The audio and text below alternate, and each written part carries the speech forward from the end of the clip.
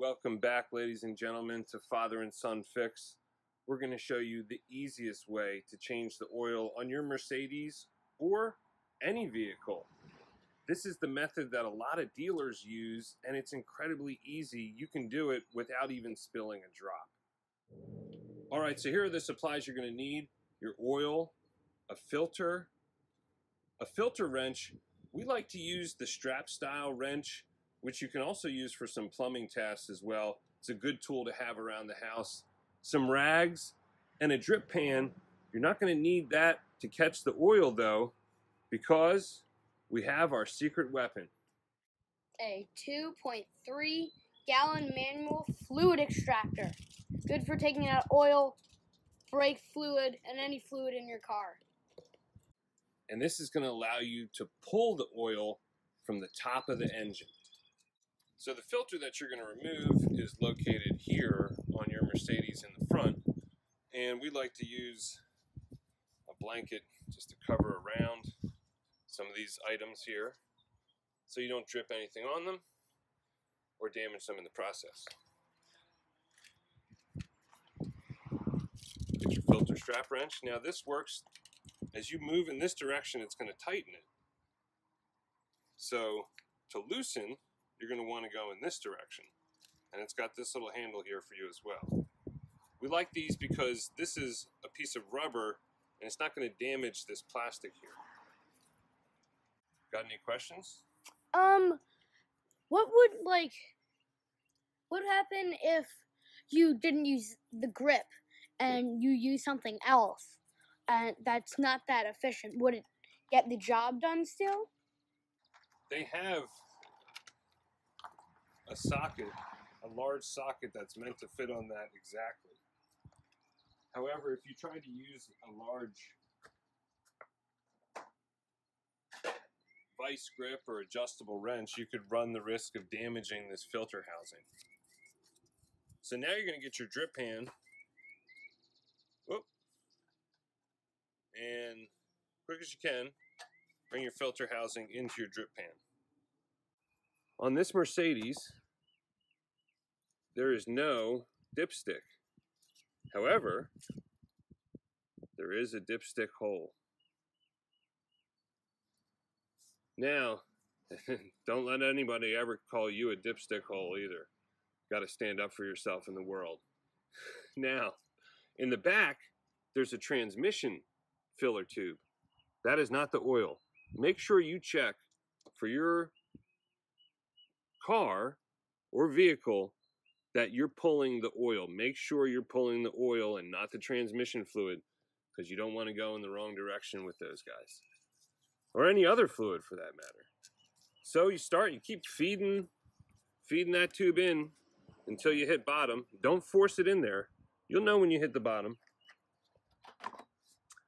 And for those of you who may be concerned, the dipstick tube is meant for a dipstick to feed through and dip down into the pan at that point. You will be okay putting this tube in here as long as you're gentle. Of course, proceed at your own caution. So here we are pulling the oil out. As you pump, it will start the vacuum to suck that oil out from the top. And you'll see it coming out. It is dark. Service D overdue. Once the vacuum started, after you get about 10 or 20 pumps, you can stop pumping and the vacuum pressure, push the handle all the way down. Let go. We'll draw the oil out for you and then come back every once in a while to check. You can see the oil splashing in the bottom of the container here and there are marks for liters. We'll get started and update you as we go. As the oil is draining, now is a good time to also check the other fluids in your car. For this Mercedes, we're going to check the brake fluid, which is under this panel right here. There's the reservoir, and our level is looking good. Still pumping. If you're worried about how long it takes, go inside, take a little break, find another little activity to have fun. Remember all the time you saved. Not having to drag out your ramps or your jack stands. Okay, we're getting close to six liters now. And it's good to pump, say, 15, 20 times every two liters or so. Check the capacity and do the conversion for your container and your vehicle. You'll know when you get to the bottom, and you also want that amount to measure up to your vehicle's oil capacity. Otherwise, you may have a leak, or you may need to reposition the hose to suck out some more oil. So we'll show you that towards the end. Right now we're going to switch gears and take the filter off of the filter housing and show you how to put the new filter on there. Okay, now we're going to show you how to change the oil filter on your filter housing and there's a set of O-rings that you're going to need to change as well and start by twisting the oil filter and pulling it down the oil filter housing and this oil filter housing, oil filter housing has one, two, three, four O-rings. So get your package, open that up. I'll tell you what these marks mean in a moment. And you should get some O-rings with your package as well. And the little diagram that shows you what those marks mean. What we like to do is line up our O-rings in the order that we're going to be putting them back on. It's okay to get a little oil on them because that will help when you put them on. Now you're going to wind up with one extra because this oil filter applies to a number of vehicles. We're working on the W211 E320. So you start with the big guy and we're using a metal tool. You have to be very careful though that you don't scratch this housing to disturb the seal that this rubber gasket makes. So very lightly, you just want to get around the gasket and move it over to this side so you're not mixing the old and the new. Not always easy. There we go. That's two. Ones towards the front are a little bit more challenging because they're smaller. Let's try that again from the, whoop, hey-o. Be careful because that is slippery as well. Come on now. Okay. Let me try the little guy first. There we go. All right, rebuild our confidence on the little guy. Off we go. Okay. Going back in reverse order.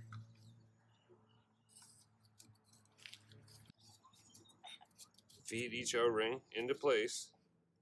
If you can do it by hand, it's better because you're going to be less likely to damage that O-ring or the plastic housing. Taking it off really helps to have a tool. Putting it back on, as long as you can work it with your fingers very carefully, you'll be okay. Okay, so here's what these lines mean. When you insert this housing, sorry, a little bit of a windy day here. Here's what these lines mean. When you insert this filter into the housing, doesn't matter which direction you go in, the line, though, needs to be hidden behind this portion right here. So we like to twist it on and keep going until it's twisted all the way on there. Okay, we're going to gently put it in the filter housing for now and let it sit there. We're not going to tighten it up yet We'll come back to that. We have our oil cap sitting there lightly as well. That way we're blocking it from any dust or particles getting in the engine. And now we have our rags free. Still pumping over here. Still extracting fluid from the top. And we're over six. We're at about seven liters right now. There we go. Okay, so we have pulled quite a bit of oil out of here to the point where the oil is now and the capacity of this extractor is right at the capacity of this engine. The the bellows or the air chamber in there is running into the oil. So we're going to need to take a little bit out and then continue pumping. You can hear it now. It gets to sound like the bottom of a milkshake when you get towards the end. Now is a good time. You can reposition the hose a little bit to see kind of like at the dentist now when it's like Sucking on sucking your on your teeth there and your gums. Reposition the hose a little bit to see whether you can suck any more out. For those of you who are wondering, and it depends upon your engine, with this engine we have pulled the oil out from the top and then took the drain plug out, and all we found was all of about 50 milliliters of oil. Maybe. Maybe. So you're going to get to the point where most of the oil is in the hose itself. Carefully pull the hose out of the dipstick tube. And then what we recommend is lifting that hose high if you have a garage rafter or somewhere to let that oil drain out of the hose into the extractor before you empty the oil out. I know.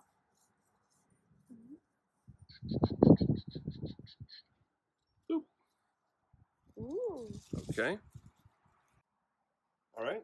So you put the cap back on, dipstick tube, then tighten up your filter. This time, it's going to go in the other direction.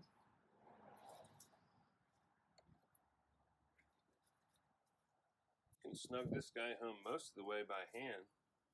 Oh, got some glove rippage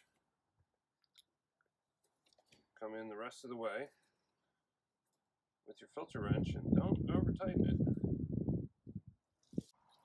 All right, now we're going to add the oil back in and we have one of every different type of this Mobil 1. The engine takes 8.5 quarts and they sell it in 5 quart amounts. So we're going to start out with a 1 quart here. You can save an incredible amount of money doing this from home you can almost pay for the fluid extractor in one oil change versus the dealership. Now this is the big box store bottle yellow writing on it. Approved for most Mercedes-Benz, VW, Audi, Porsche.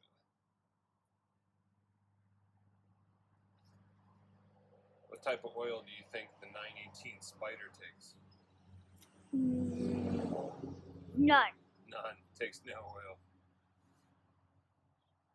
Runs on, on pure hybrid love And electricity. and electricity. Save your containers because you can use those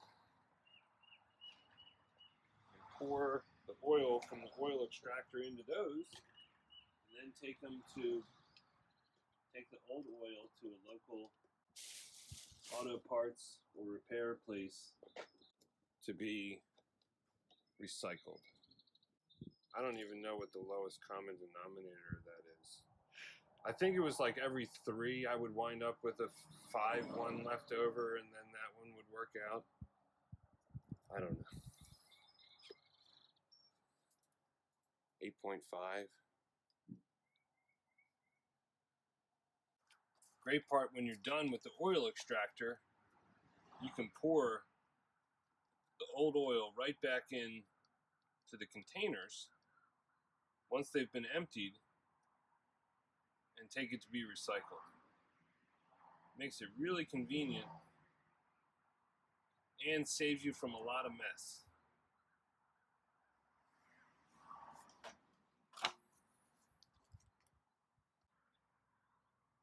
Here's why we like to cover the engine when we're working on it. A bird flew by and pooped on the blanket? Okay. Once you're done filling up the oil, you're going to want to start the engine and check for any oil leaks at the cap or the oil filter housing.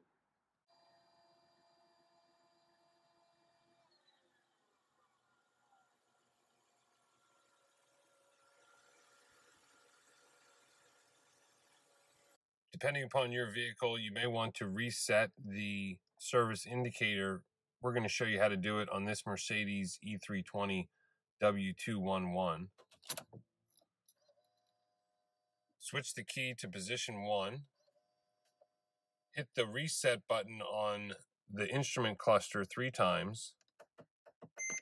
That'll bring up your service menu. Then cycle through